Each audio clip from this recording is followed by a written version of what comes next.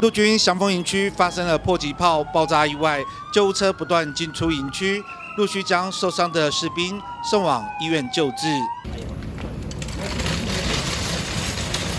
九名伤患中，其中两名上士伤势最严重，左手被炸断。其他轻伤的士兵在军方人员陪同下搭乘救护车前往医院治疗。啊，就是左手的左左手的这个手肘前面有呃这个炸伤，还有炸伤。那我们现在做了处理之外，现在生命现象稳定，然后血压也都稳定，然后现在转到那个我们总院的三总。那我们跟三总都做了很好的联系，然后目前啊三总都知道这位病人要转呃这位弟兄要转过去了，哎。好，今天下午的这个发生的案件哦，是一个突发的状况。那么这处理的这一批弹药是呃前一阵子由外岛回运的幺两洞破炮，那么已经排定的时间就是在今天下午来做处置。那跟汉光演习是没有直接相关。陆军六军团三支部北弹库基隆分库祥丰营区，二十四号下午三点多。弹药库突然爆炸，附近的居民听到爆炸声响，全都吓一跳。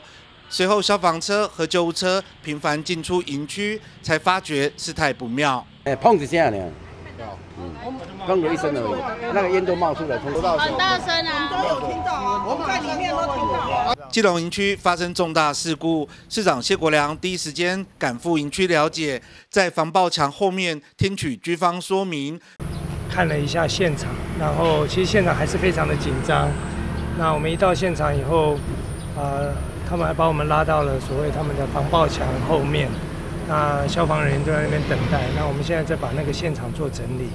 那那个时候啊，看起来就是经他们的解释，就是这跟演习无关哈。跟大家报告，就是有炮弹在整理的过程中，呃，不慎引爆这样子。那有伤者，有一些蛮严重，送到三种。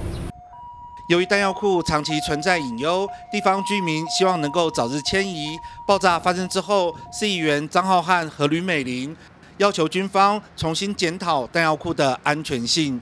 那我想，过去这几年，地方的一个居民一直强力的啊，希望这个祥丰的一个弹药库能够迁走。毕竟这个地方紧邻我们的住宅区，那在门口甚至还有一个加油站。其实对于周边居民来讲的话，它都是抱着一个不定时的一个炸弹。我想今天发生这样的一个意外，是大家都不乐见的。但是在这边，我们也呼吁啊，我们的一个军方一立即检讨这个祥丰街弹药库的位置是否恰当。那也希望说，我们立即把这个呃弹药库能够迁移到适当的一个场域。避免我们的憾事再度发生。我们都一直以为他们已经搬迁的差不多了，因为他们的这个军方人士留守在这边的也不像过去这么多了。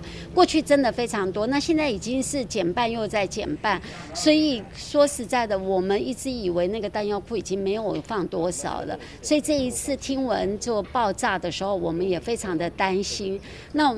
虽然说他们一直强调说存放啊都会有一定的这个安全的考量跟测试，可是呢，经过这一次事件，我们相信那是还是危险的，而且也周遭的这个建筑物也越来越多，住宅也越来越多的，所以我们还是非常诚恳，并且再度的呼吁国防部赶快把这个弹药库迁移走。针对外界质疑弹药库的安全性，立委蔡世应除了前往医院探视伤者，也要求军方要详细调查清楚。对，那因为有些人提到说他是离主的层级的问题，那我想我这边就我的理解，呃，也跟我们的呃基隆商业说一下，呃，祥丰营区弹药库我去视察过很多次，那小丰营区弹药库的存放的弹药，呃，基本上呃它不是呃非常大的一个弹药。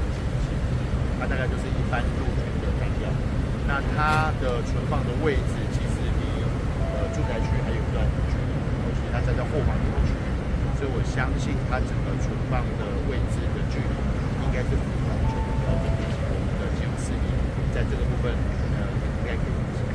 这一起弹药库发生爆炸事件，一共造成九名官兵分别受到轻重伤。总统蔡英文第一时间掌握相关讯息。